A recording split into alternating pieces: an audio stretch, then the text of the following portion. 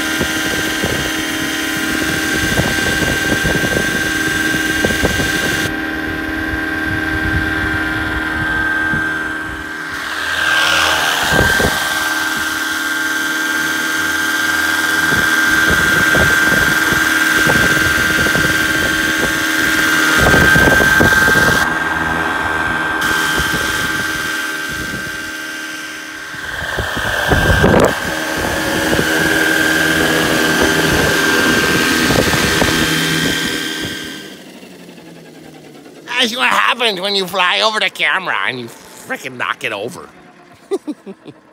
So this time when I take off, I'll remember to have it in heading hold mode so my tail doesn't swing around whenever I fucking take off.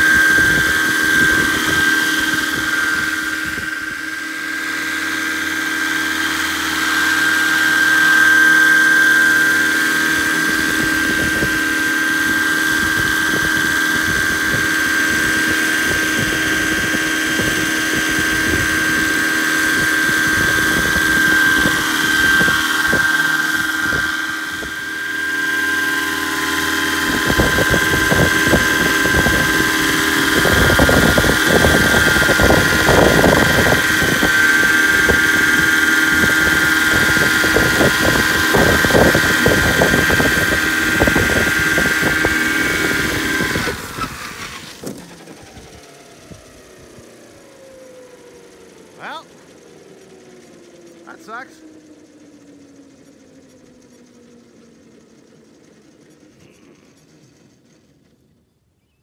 Shit. Let the smoke out. Something happened. Oh. That was the motor.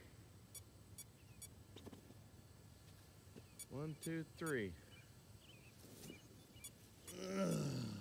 Oh man, that killed it.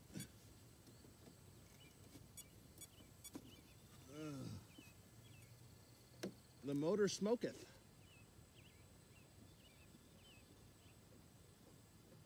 Wow. Well, thank God it wasn't the ESC, but it fucking damaged the shit out of it. Sent the landing gear up through it.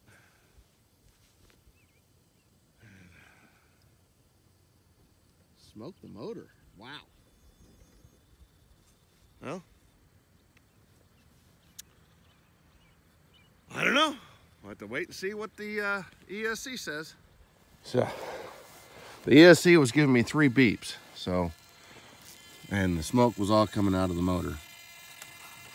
So we will diagnose when we get back to the shop. Unfortunately, this thing is all smashed to shit. You know, you can see the see the mounts for the landing gear in there. But well, at least it came straight down. And we'll we'll pick up this adventure back at home. All right, so the first problem I have is my data is incomplete. And I just freaking reset this thing, but I'd been sitting there on the ground waiting for that stupid plane to come in. So it took up all my time. But there's a spike up here and it was uh, 58 amps, which shouldn't be a problem for that motor. So there was some issues with that thing. And I've got my little cursor right here. So when I was hovering around, it was at 37, 38 amps and about 1200 RPM. It was real consistent. Even my, my, uh, uh, God damn it, my ripple was only at, at that point 0.82 volts at a high point on there. So it just fuck the pooch, I guess. and it's kind of hard to turn. It was hard to turn before, but it's just, it feels weird. So I've got another motor that I've got here from something else that went in. And uh, it's a little bit lower kV. This is supposed to be a 500 kV motor. That one's a 450, so we'll see where uh, where my uh, curves are as far as the throttle, how much percentage I've got, and we'll put it in. And I've got to fix the, I've got to fix the, uh, the landing gear. I, it's not where it's supposed to be. so, so far that's about the only thing I've seen damaged. I, I broke my bucket because I landed right on top of it. So, Tyler, I'm to have to get, get a new star from you. The star broke right there. You can kind of see it. But other than that, shit happens. There's not a goddamn thing you can do about it.